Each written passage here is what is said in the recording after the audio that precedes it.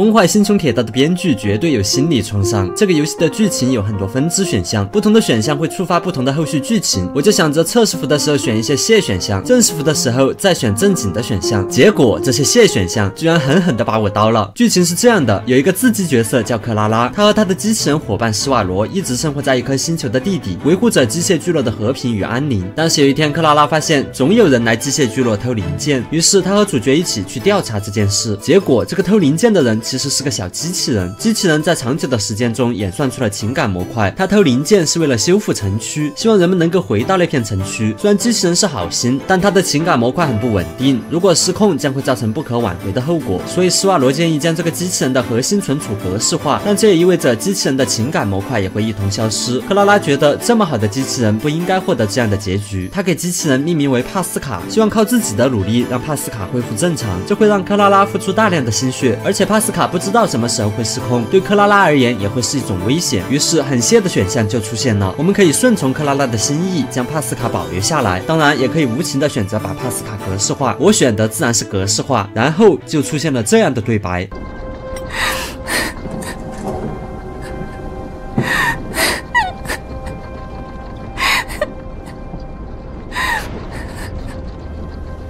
谢谢克拉拉哥哥，帕斯卡很开心。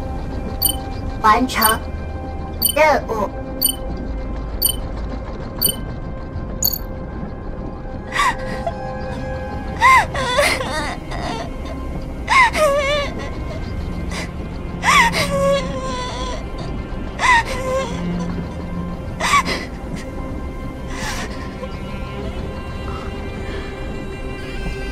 是先暂时离开吧。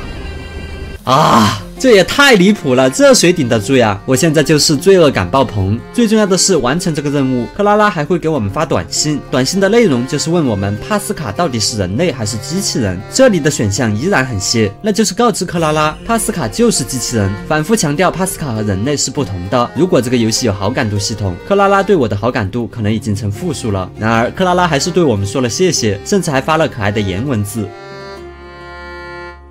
我这是做了什么呀？当然，即使我们选择了格式化帕斯卡，第二天也会发现帕斯卡依然存在于基地网络中。但这个过程真的很让人揪心。写出这些选项的编剧，你的身心还好吗？